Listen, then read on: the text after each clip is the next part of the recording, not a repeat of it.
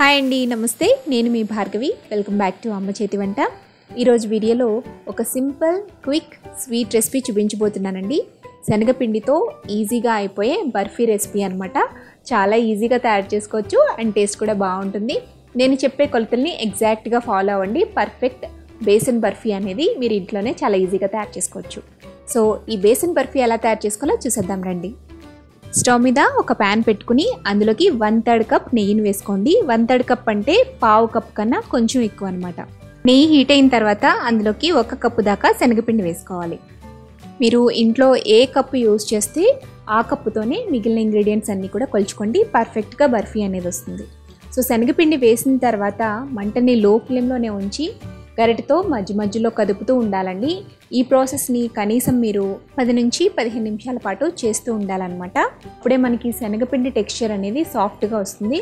First మీరు నెయ్యిలో పిండి వేయగానే కొంచెం గట్టిగా అయిపోతుంది అనమాట అంటే శనగపిండి నెయ్యిని పీల్చేసుకుంటుంది.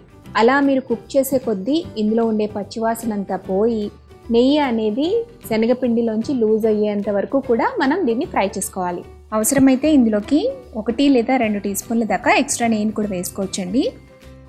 ఇలా లో ఫ్లేమ్లోనే పది నుంచి పదిహేను నిమిషాల పాటు ఫ్రై చేస్తూ ఉంటే శనగపిండి టెక్స్చర్ మారుతుంది అలాగే మీకు కలర్ కూడా కొంచెం డార్క్ షేడ్లో వస్తుంది. సో ఇంతవరకు బాగా కుక్ చేసుకున్న తర్వాత స్టవ్ ఆఫ్ చేసేసుకుని ఈ కడాయిని పక్కన పెట్టేసుకోండి. ఇప్పుడు స్టవ్ మీద మరొక గిన్నె పెట్టుకుని అందులోకి అర కప్పు దాకా పంచదార వేసుకోండి.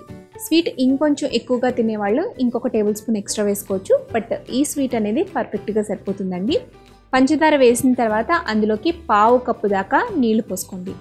నీళ్ళు పోసి ఈ పంచదార అంతా కరిగేంత వరకు మీడియం ఫ్లేమ్లో పెట్టుకుని కరగపెట్టుకోండి.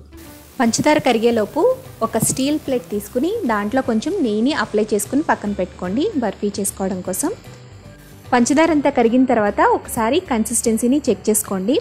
ఇలా మీకు జస్ట్ స్టిక్కీగా ఉంటే పాకం అనేది ఇంకా రానట్లండి. అందుకని ఇంకొంచెం సేపు ఒక టూ టు త్రీ మినిట్స్ పాటు లో ఫ్లేమ్లోనే మరిగిస్తే మరి కొంచెం చిక్కబడుతుందండి. అప్పుడు మీకు ఇలా లైట్ తీగ పాకం అనేది వస్తుందన్నమాట. జస్ట్ స్ట్రింగ్ కన్సిస్టెన్సీ ఇలా వేళ్ళ మధ్యలో పెట్టినప్పుడు ఒక తీగలాగా వస్తుంది. సో అప్పుడు మనకి పర్ఫెక్ట్ కన్సిస్టెన్సీ వచ్చినట్టు వెంటనే స్టవ్ ఆఫ్ చేసేసుకుని దీన్ని పక్కకు తీసేసుకోవాలి. లేదంటే మళ్ళీ పాకం అనేది ముదిరిపోతుంది అనమాట పాకం ముదిరింది అంటే మనకి బర్ఫీ అనేది కొంచెం గట్టిగా వచ్చేసే ఛాన్స్ ఉంటుంది. సో ఈ కన్సిస్టెన్సీ అయితే పర్ఫెక్ట్గా ఉంటుంది. ఇప్పుడు స్టవ్ ఆఫ్ చేసేసుకుని ఈ గిన్నెని పక్కకు తీసుకుని కొద్దిసేపు ఈ పాకాన్ని చల్లారనివ్వండి. అలాగని పాకాన్ని పూర్తిగా చల్లారిపోనివ్వకూడదండి.